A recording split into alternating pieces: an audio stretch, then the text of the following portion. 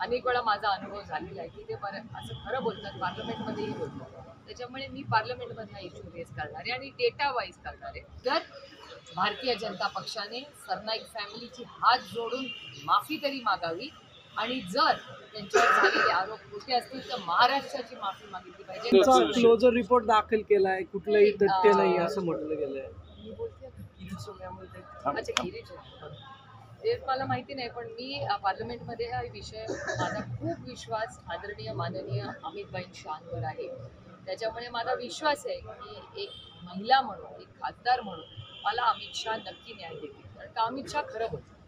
अनेक वेळा माझा अनुभव झालेला आहे की ते बरं असं खरं बोलतात पार्लमेंटमध्येही बोलतात. त्याच्यामुळे मी पार्लमेंटमध्ये हा इश्यू रेस करणार आहे आणि डेटा वाईज करणार आहे.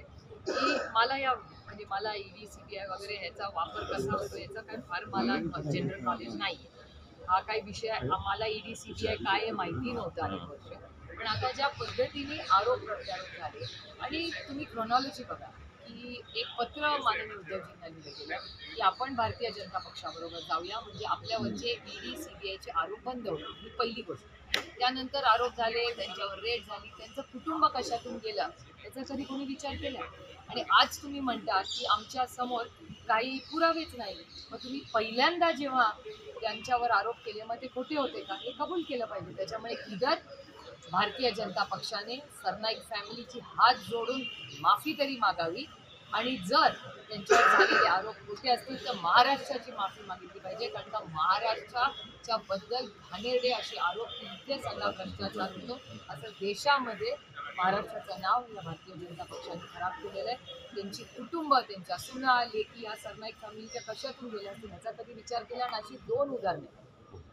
ज्यांच्यावर खोटे आरोप झाले आणि नंतर आता ते सरकारमध्ये गेल्यावर त्यांना क्लीन चिट मिळाली. त्याच्यामुळे इधर त्यांच्यावर आधी खोटे तरी आरोप झाले तेव्हा ब्लॅकमेलिंग केलं गेलं त्यांना आणि मग ते त्यांच्या पक्षात गेल्यावर त्यांना क्लीन चिट मिळालेली. याला राजकारण म्हणत नाही.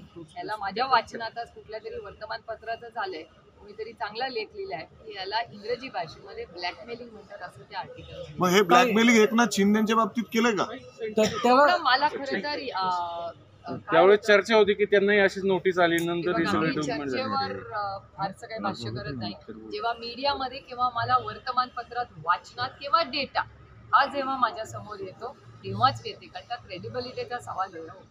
इसको भी जवाब देना है